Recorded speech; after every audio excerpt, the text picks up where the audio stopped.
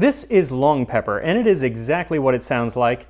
It's pepper that is longer than your typical black peppercorn. And this was the type of pepper that was really popular in both ancient Rome and throughout medieval cuisine. In my opinion, it is absolutely superior to regular black pepper. When you bite into it, it has much more heat. It just hits you right in the mouth, but then it goes away and leaves a more floral and fragrant flavor, almost sweet. It's like if regular pepper and nutmeg had a baby. Today it's all but gone from Western cuisine, but it's still popular in much of East Asian cuisine and Indian food. They use it all the time, so you can go to a local Indian market and get some of this, and I suggest that you do. One, because it's a really cool flavor, and two, because then you can taste what the ancient Romans used to eat.